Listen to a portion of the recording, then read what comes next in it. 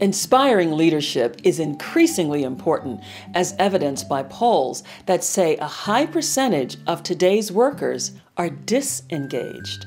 Some experts say that a portion of the blame lies on managers who are not cut out to manage people. The wrong manager really can sink morale, drive away valuable talent, and cost a company a great deal of money hidden expenses associated with hiring, with training, as well as the cost of lost productivity will find its way to the bottom line. That's a guarantee. Do you possess the qualities that make others want to follow you? Are you a good leader? According to Forbes, it takes more than charisma. And here are six qualities they say inspiring leaders possess.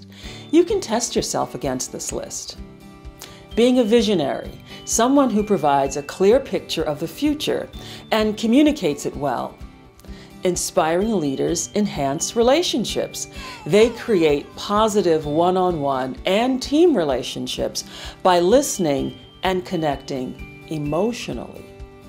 They're drivers who are focused on making their numbers and completing projects on time.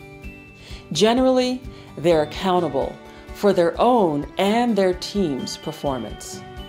Good leaders are principled, powerful role models, committed to doing the right things in the right way. And their enthusiasm is evidenced through their passion and their energy. You just see how much they love and enjoy what they do. Finally, they're experts with strong, deep technical skills.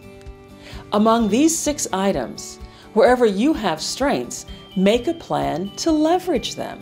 Then choose just one area for enhancement and make a plan for improvement. For example, you could read relevant books. You could ask a mentor for advice. You could engage a coach. You could ask a peer for coaching and feedback.